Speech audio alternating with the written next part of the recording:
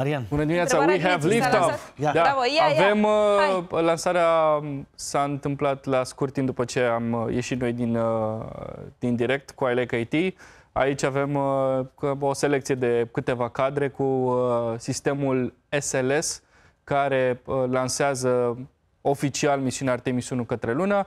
SLS este una dintre cele mai mari uh, rachete sau sisteme de transport spațiale făcute vreodată.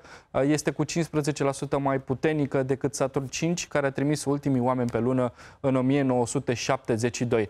Această misiune uh, către lună nu are echipaj uman, este doar o, o, o probă, să zicem așa, Uh, și este un proiect la care se lucrează de foarte mult timp. De altfel, Artemis, în mitologia greacă, este sora uh, lui Apollo. Apollo, da. Apollo care a dus primii oameni pe lună, cum spuneam acum, aproape 50-60 uh, de ani. Este un test uh, fără echipaj uman, urmând ca Artemis 2 uh, să aibă un echipaj uman care va face fix același lucru, adică să orbiteze uh, luna, iar apoi cu Artemis 3, după 2025, să avem și primii oameni pe lună.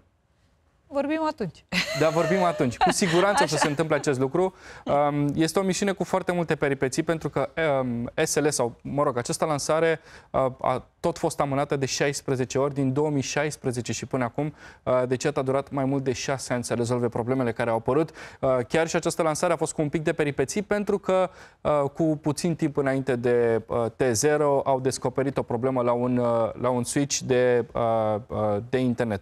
Această misiune durează 26 de zile. Am și aici un uh, calendar. Între 2 și 5 zile uh, urmează uh, să iasă din orbita, uh, orbita terestră, iar în acest moment încă avem imagini live. Uh, mă rog, sunt simulări grafice acum. Aici avem uh, uh, uh, pornirea motorului pentru uh, intrarea pe uh, traiectoria către, uh, către lună.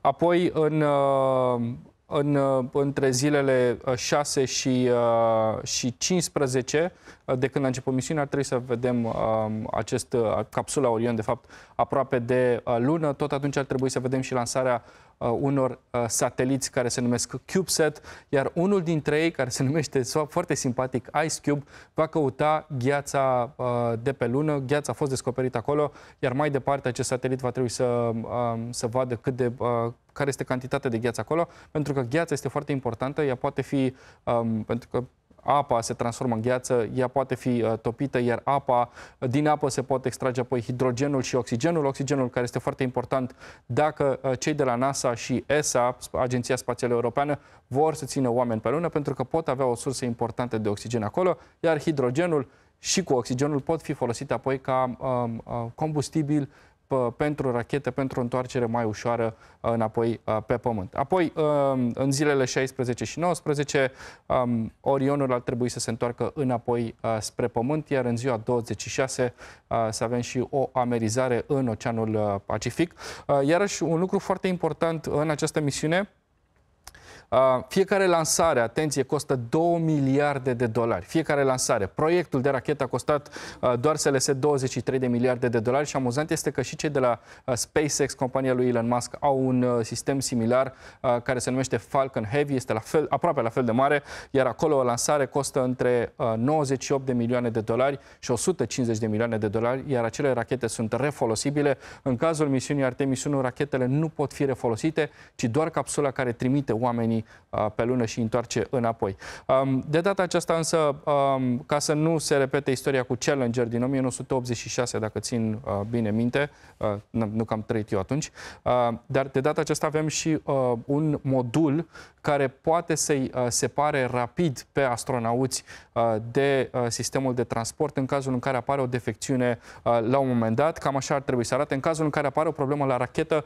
atunci astronauții pot fi uh, împinși uh, și mai departe de zona care ar putea să reprezinte un pericol uh, și mai departe întorși rapid uh, pe Pământ. Cred că este pentru prima dată când se întâmplă așa ceva, uh, dar uh, dacă nu mă înșel și, uh, și SpaceX are o tehnologie uh, similară și e destul de puternică acest uh, motor de uh, anulare a programului uh, de zbor. Mai multe informații despre Artemis, că sunt foarte multe lucruri pe care n-am apucat să le spun. De exemplu, Artemis uh, zboară 450.000 de, ki- uh, de kilometri până la lună, uh, va orbita la uh, cea mai mare distanță de lună, va fi de undeva la vreo 64.000 uh, de kilometri. E orbita retrogradă uh, a lunii, vor ajunge și în partea mai întunecată, acolo unde au găsit foarte multă gheață. Au descoperit deja și câteva locuri unde Orion va putea să, uh, să ajungă uh, pe Marte și abia așteptăm să urmărim mai multe informații despre acest program. Uh, foarte important, pe NASA găsiți o mulțime de resurse gratuite pe care le puteți folosi, inclusiv imagini. Eu am găsit o, o fotografie foarte drăguță cu Artemis și cu Luna care se vede acolo în fundal.